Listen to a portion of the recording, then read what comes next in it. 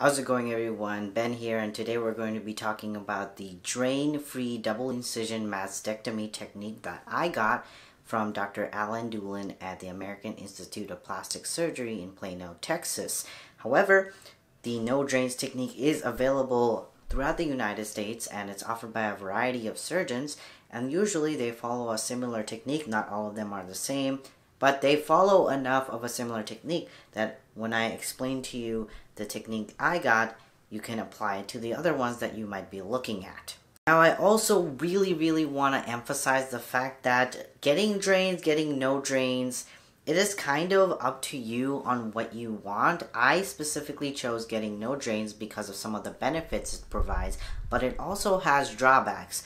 The same thing goes with drains. That drains have benefits, but it also has drawbacks as well. One surgeon who provides no drains might not have the best expertise on contouring a masculine shape that you desire compared to another surgeon who does provide drains but has an aesthetic appearance post surgery that you desire. So really figure out your pros and cons on whether or not you should get drains, but I am sharing this video because I don't think there's a lot of medically inept people describing a no drains technique on the internet and that's why I want to provide it. And every surgeon will say their technique is the best, but honestly, a no drains technique follows a similar principle universally through almost every single surgeon, but they make little tweaks and changes here and there so that they can market it as their own unique flavor of a no drains technique. And of course, when I talk to my surgeon about his method, he only gave me enough information so that he doesn't reveal too many of his secrets. Which honestly, plastic surgeons creating their own patented versions, secret versions of techniques is a little bit problematic and we can get into that in another video. But today's video is actually going to be me explaining how the no drains technique works. So the first thing I'm going to do is actually explain the no drains technique to you as described by my surgeon, Dr. Alan Dulin at the American Institute for Plastic Surgery, and then talk about the pros and cons. So, this is how the no drains technique goes.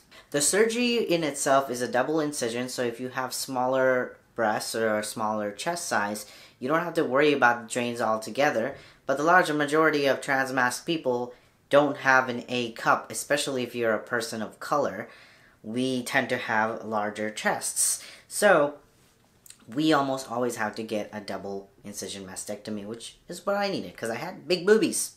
And the drawback to a double incision mastectomy, if you ignore the large bilateral scars that you get, is the fact that you will also need to have drains in place. And drains, when I was doing my search, can impede on your productivity post surgery. And when I was going to have my surgery scheduled. I'm a medical student. I'm always on my feet. I'm always doing things. I'm also an advocate. So I'm always doing photo sheets, photo shoots, this, that, and there.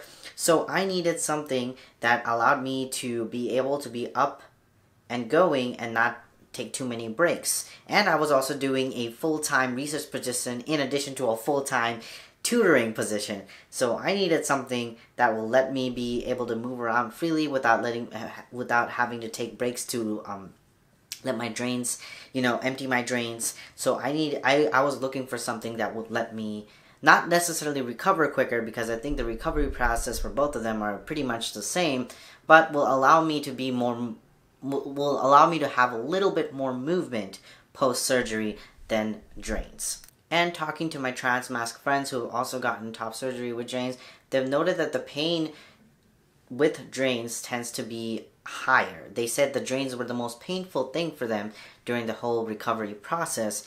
And for me, I'm a bit of a softie. Unfortunately, I will honestly admit it, my pain tolerance is not as high as the average person. So I was trying to mitigate some of that post-surgical pain. And I, I'm gonna be honest, I still had a lot of pain, and I still have some pain now going about doing my everyday duties, but I just wanted to avoid as much pain as possible, and for me to do that, one way for me to do that was to go for a no drains technique. Now, the way the no drains technique works is that most double incision mastectomies, what happens is when the surgeon cuts cuts below your chest to open that chest up and to liposuction out the rest of the chest and they staple it back in place. They take the top skin and they take the bottom skin and put them in place and then stitch over it. What that happens is that there is a bit of space between your chest muscle and the skin that the surgeon surgeon sutured over it. And like with other every other inflammatory process like surgery, there's going to be something some fluid buildup, pus buildup, because there are neutrophils that are going to go there with your white blood cells and release a lot of enzymes so that it fights infections, any form of infections. That's just our body's natural response. We create fluid as a form of inflammation. So when that fluid accumulates, you get a little bit of swelling, and that's why you need drains. You need drains to release that fluid and it doesn't build up below your chest wall because then it's going to be super swollen. And it may even cause super bacteria complications. So that's why drains are so important.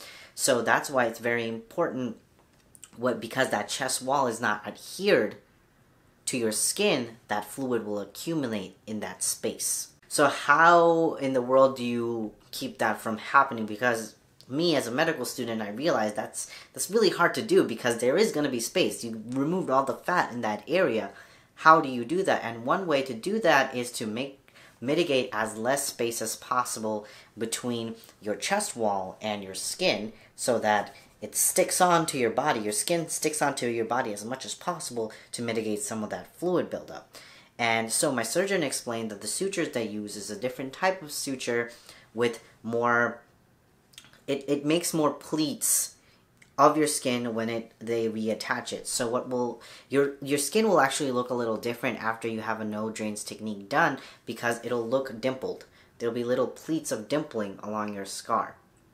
And you can't really see that see it that well in photos. There are a couple of YouTubers that were able to accurately display it, but it's hard to explain and it's hard to even show you in my old top surgery recovery photos because you can't see it that well but there's there's going to be some dimpling. There's going to be ridges on your skin. And it, it doesn't look aesthetically pleasing at first and that's something you have to um, be able to be okay with because it'll over time flatten out. Mine has flattened out and i'm at the three month mark so it doesn't take that long for it to flatten out, but because they try to mitigate as less space as possible, that dimpling will be there in the first three months of your top surgery experience. Another thing with this really, really tight uh, stitching is that you will have a lot less range of motion because of how tight it's going to be adhered to your skin because they're trying to mitigate as less as, as less space as possible.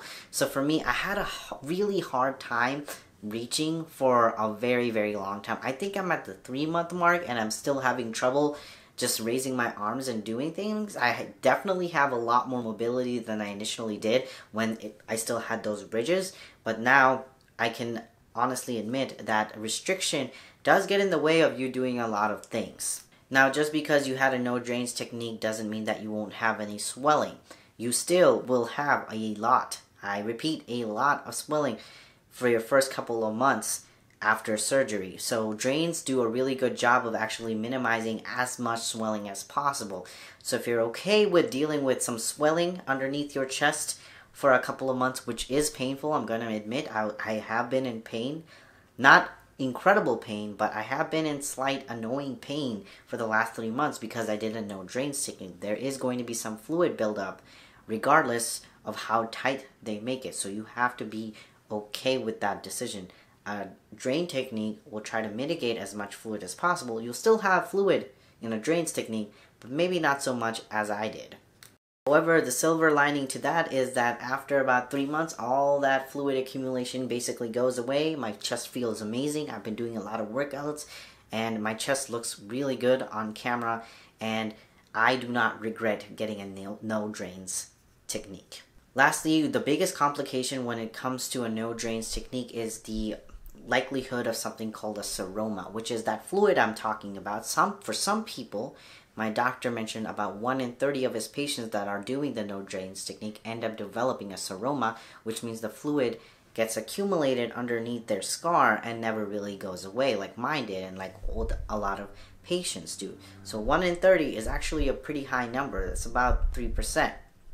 However, the procedure to fix that is actually really easy. He told me all you do is you go into the office again, they take a syringe, they put that syringe into that area where there's fluid accumulation and they just draw that fluid out and that will solve the problem. So it's very very much an easy fix. However, if you are on a budget and top surgery kind of broke the bank for you, having to deal with the seroma afterwards and also thinking about let's say if you're an out of town patient, you have to go back and get that fluid drained. You could also go to a local surgeon and have that fluid drained. However, I think most people will prefer to go to their original surgeon and have that fluid drained is a bit of a nuisance and is not very cost effective. However, like I'll say again, it's 1 in 30, so if you want to take that chance, you can, and I definitely did.